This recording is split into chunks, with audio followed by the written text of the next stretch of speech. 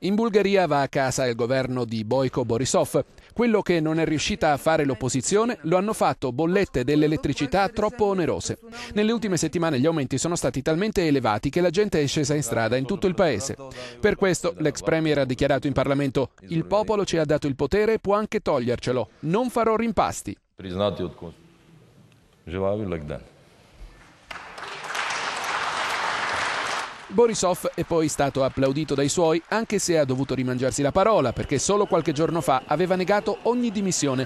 L'elettricità in Bulgaria è distribuita da tre compagnie straniere. Lo Stato non ha i soldi per nazionalizzarle e queste tre sono accusate di aver fatto cartello e gonfiato a dismisura le bollette. Dagli aumenti le violente proteste di piazza, proteste che la polizia non è riuscita a controllare. Един ме свали с палката, 50 сигурно. Аз добре, че нямах лош. Аз си щех да ви изкорма един път.